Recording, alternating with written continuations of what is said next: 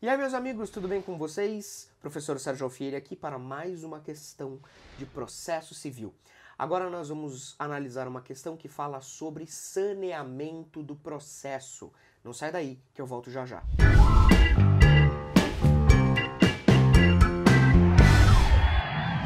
Olha só, galera, vamos dar uma olhada nessa questão aqui que fala sobre saneamento, questão cobrada no concurso do TJ do Pernambuco. Vem comigo.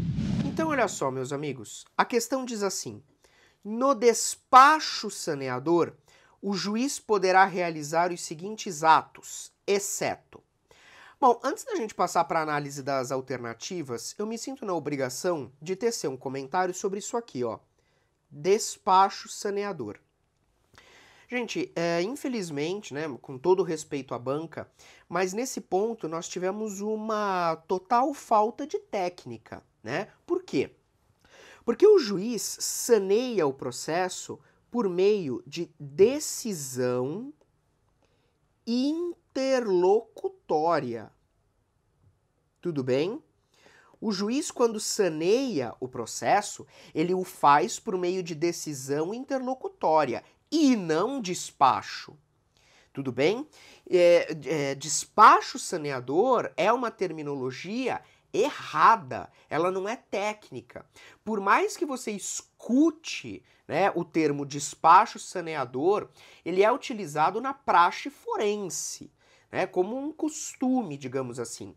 Mas repito, não é técnico e certamente não poderia aparecer numa questão de concurso público. Né? Então, aqui nesse ponto, a banca andou muito mal. Tudo bem? O juiz não saneia o processo por despacho, ele saneia por decisão interlocutória.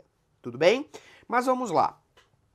É, o que, que o juiz, na decisão interlocutória saneadora, pode fazer? Letra A. Ele pode definir a distribuição do ônus probatório? Resposta: pode. Então a letra A não é o nosso gabarito. Porque no, no, no momento do saneamento, no momento que o juiz é, saneia o processo pela decisão interlocutória, ele decide sobre a distribuição do ônus da prova. Inclusive, esse é o momento processual adequado para o juiz se achar pertinente inverter o ônus da prova. Tudo bem? Então, letra A está errada. Letra B. O juiz pode designar audiência de instrução? Pode, também está certo. Naqueles processos em que a audiência de instrução for necessária, o juiz designa a data na decisão interlocutória saneadora. Tudo bem? C. O juiz pode resolver questões processuais pendentes? Pode. Na verdade, não só pode, como ele deve. Tudo bem? Sanear o processo significa limpar o processo, corrigir o processo. Então, se o juiz verifica questões ainda irregulares, questões pendentes, o juiz precisa consertar tudo isso. Tudo bem? Então, a letra C está correta. D. Delimitar as questões de direito controversas.